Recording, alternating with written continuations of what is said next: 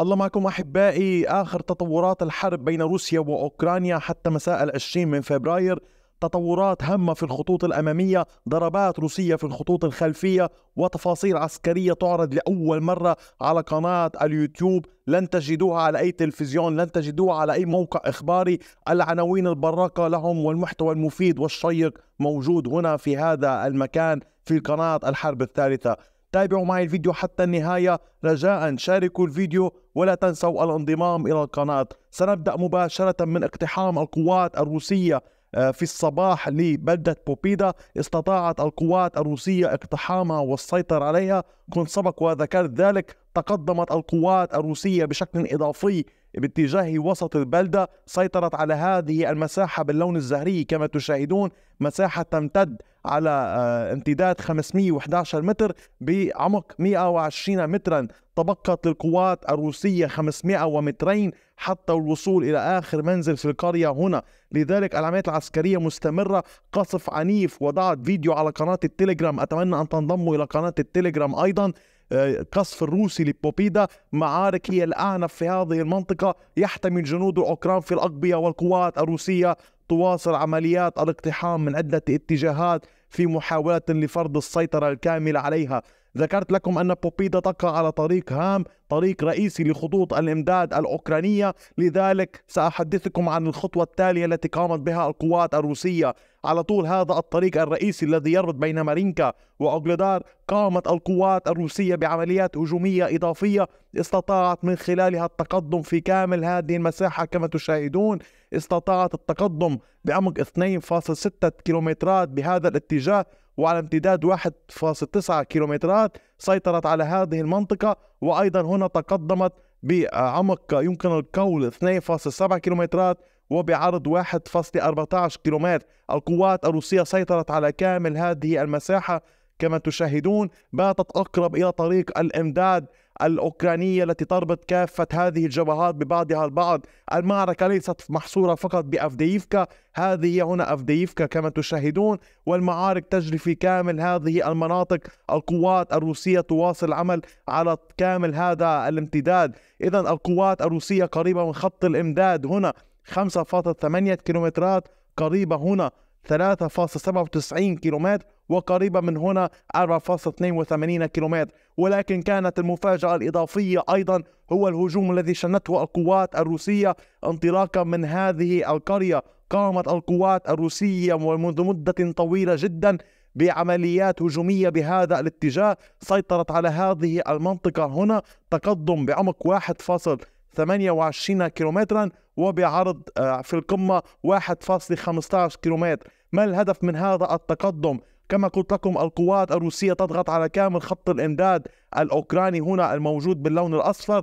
تحاول الضغط بشكل كبير. لذلك ربما هذا التقدم هنا نربطه بالتقدم الصباحي الذي حصل. قامت القوات الروسية آه، بالأمس بالتقدم والسيطرة على هذه المنطقة. في قرب نوفودونيتسك. لذلك يبدو أن الروس يستعدون لعملية تشبه النحو التالي تقدم انطلاقا من هذه المنطقة تقدم من هنا وأيضا ضغط من هذه الاتجاهات جميعها على طول هذه المنطقة لربما تحاول القضاء على خطوط الإمداد الأوكرانية.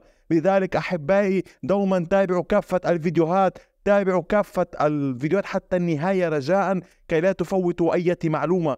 إضافة إلى ذلك قامت القوات الروسية بعمليات عسكرية باتجاه لاستوكشيني. استطاعت السيطرة في صباح اليوم مع ساعات الصباح على كامل هذه المنطقة.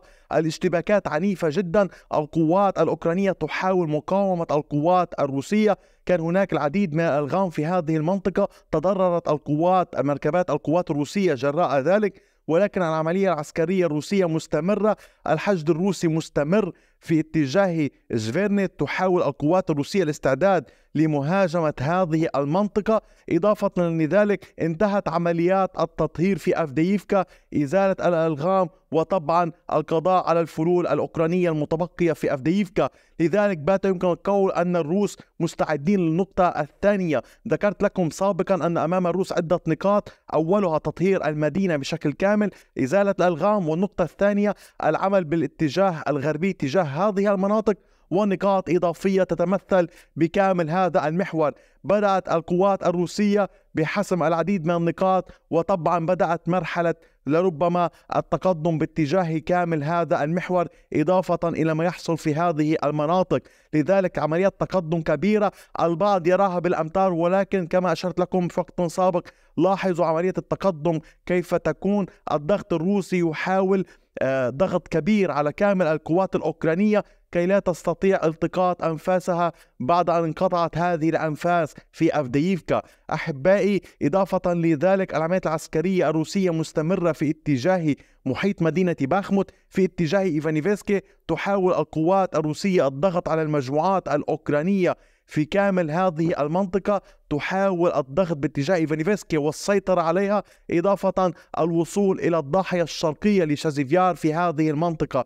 لذلك نراقب ما يحصل نتابع ما يحصل وأتمنى من حضراتكم دوما متابعة القناة. إضافة لذلك أحبائي القوات الروسية تراجعت في عدد من مواقعها من بيلوريفكا. الأمر الإضافي الذي حصل هو أن الأوكران استخدموا تعزيزات إلى هذه المنطقة. تم استخدام تعزيزات أوكرانية إلى هذه المنطقة تمركزوا في هذه آه، المواقع. فبدأت راجمات القوات الروسية استهدافهم. كان هذا الأمر ما يشبه المصيدة. إضافة لذلك تستمر العمليات العسكرية في هذا الاتجاه في اتجاه شمال كريمينا في اتجاه تيرني ويامبوليفكا. أما الأمر اللافت فهو إرسال القوات الأوكرانية لأرتال للدبابات انطلاقا من خاركيف باتجاه منطقة كوبيانسك. ما زلت أراقب أين ستنتهي هذه المركبات أين سيتم وضعها في أي من البلدات والقرى. حتى ذاك الحين القوات الروسية تقوم بعملية استهداف على طول الحدود. الأمر اللافت والأكبر هو استهداف القوات الروسية لمصفات النفط في كريمنشوك كان هناك ضربات بالأمس على مواقع مصفات النفط. طبعا ضغط كبير آه، نتيجة استنزاف هذه المصفات نتيجة الضربات الروسية. طالت هذه المواقع بالتحديد كما تشاهدون. تم استهدافه بثلاثة طائرات. هنا طائرتين تم ضربتها وهنا طائرة. الأمر الإضافي الآخر والذي ينتظره الجميع هي تفاصيل ما يحصل في زابوروجي في زابوروجي سأسرد لكم ما يحصل من تكتيكات عسكرية ومن تشكيلات عسكرية. تابعوا رجاء حتى النهاية ستستمتعون بذلك. في أفدي في زابوروجي تحديدا في اتجاه روبوتيني تتواصل المعارك وكذلك في فيربوفي. ولكن القوات الأوكرانية لديها الكثير من القوات رغم أنها استنزفت في يعني أرسلتهم إلى اتجاه افديفكا أرسلتهم إلى باخموت ولكن تبقى لديها لديها قوات هنا. ما هي هذه القوات؟ هذه القوات هي تحديدا آه، يمكن القول الألوية 33 و 154 إضافة إلى اللواء 117 يحتوي كل منهم على ثلاثة كتائب. إضافة لذلك لدينا اللواء 65 إضافة إلى الفوج الثامن قوات خاصة. لدينا أيضا في هذه الأماكن كما تشاهدون عند هذه الخطوط الزرقاء والحمراء هي تحصينات. ولكن أقوى التحصينات الأوكرانية الموجودة في هذه المنطقة هي الموجود هنا اللواء 154 هنا فوج القوات الخاصة الثامن هنا تتواجد كتيبتين الأولى والثالثة من اللواء 118 إضافة إلى فوج 14 مختص بالطائرات بدون طائرات إضافة إلى وحدة أوميجا 3 إضافة إلى كتيبتي استطلاع وأخرى مشاة كما تشاهدون هذه الكتائب موجودة في الوسط بين روبوتيني وفيربوفي.